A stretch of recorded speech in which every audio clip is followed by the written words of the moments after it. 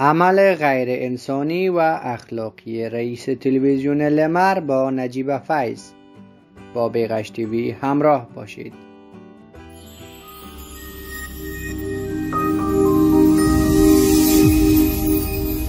سلام دوستان عزیز به یکی دیگر از ویدیوهای ما خوش آمدید. لطفا برای حمایت از ما این ویدیو را لایک نموده با دوستانتان شریک سازید.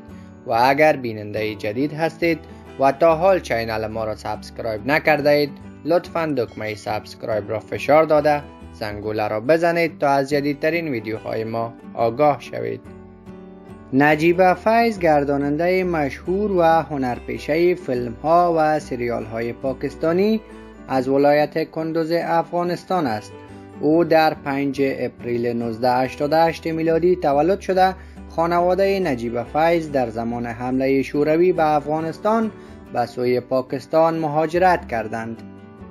و نجیب فیض بعد از بزرگ شدن در پاکستان رو به هنر فیلم و سینما آورد و در فیلم ها و سریال های پاکستانی نقش بازی می کرد به حدی که نجیب فیض به نام دلربا در پاکستان مشهور شده بود.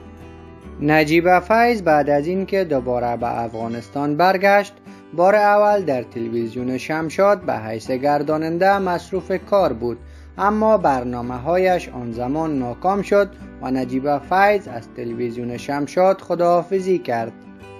چندی نگذشت که نجیب فیض در پرده تلویزیون دوباره ظاهر شد و این بار در شبکه لمر در برنامه لمر ماشام گردانندگی می‌کرد. اما نجیب فیض چرا دوباره از برنامه و تلویزیون لمر رفت و به تلویزیون آریانا پیوست؟ در جواب باید گفت که نجیب فیض چون با رسم و انانات پاکستانی بزرگ شده است آن زمان نمی توانست که در برنامه ها مانند افغان ها کارگردانی کند.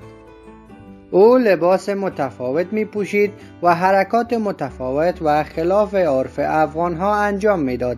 بنابراین به گفته بعضی ها نجیب فیض را رئیس تلویزیون لمر از کار اخراج کرد. طرفداران نجیب فیض این کار رئیس تلویزیون لمر را غیر انسانی و اخلاقی می دانند و می گویند به خاطر لباس پوشیدن و حرکات یک شخص نباید این گونه با او برخورد شود.